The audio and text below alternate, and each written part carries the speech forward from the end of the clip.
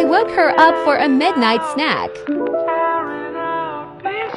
Bananas are her favorite thing to eat.